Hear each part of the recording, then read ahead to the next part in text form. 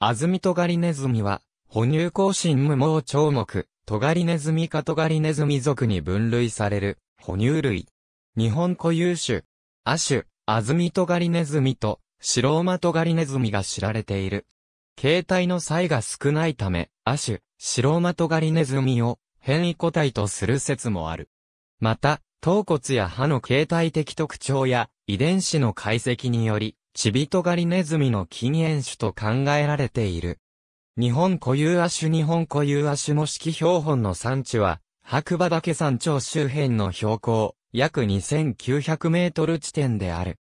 体長4.6から6.6センチメートル、お長4.7から5.2センチメートル、あと足長10.6から12.2センチメートル、体重4.5グラムである。頭骨長は1.65センチメートル以下であり、第1タントガリバが最も大型で、第2、第3タントガリバは、第4タントガリバよりも大型になる。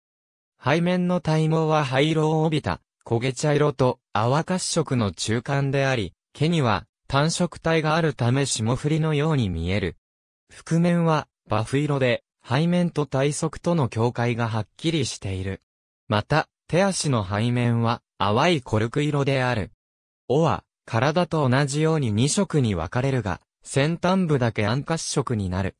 成獣では、尾の先端にはほとんど毛がなく、長さ 1.5mm ほどの短毛が、わずかにあるのみである。頭動長 5cm、お長 5.1cm、耳長 0.6cm、あと足長 10.6cm。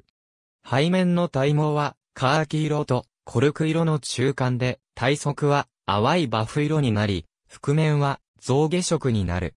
体側と腹部との境界がはっきりしないが、体毛の色が3色に分かれることが、アズミトガリネズミとの違いである。尾は2色に分かれ、上面がコルク色で仮面が象下色を帯びた白色になる。先端部は暗褐色になり、長さ 2.5mm の毛がある。H アベは SH シャイローメヌス OS 細野井の変異型であるとした。主に夜鉱山帯針葉樹林から鉱山帯にかけての森林、草原などに生息する。種として、灰末帯に分布し、昼夜ともに、灰末の下にある岩石の間や、苔類に覆われた地面の上で活動する。昆虫や雲などの無脊椎動物を食べる。一回に6頭の幼獣を産んだ例がある。亜種、シローマトガリネズミは、登山者による植生の破壊、残飯による赤ギツネやカラスなどの侵入などにより、生息数が減少している。新潟県のレッドデータブックでは、準絶滅危惧種として掲載されている。